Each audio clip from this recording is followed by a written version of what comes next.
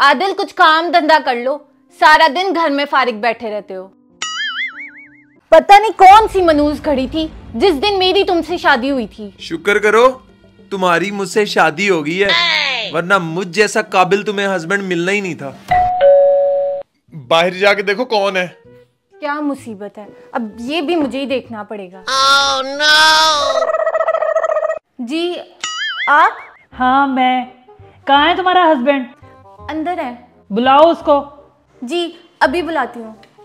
आदिल जल्दी से रेडी हो जाओ। मालिक मकान आ रही है।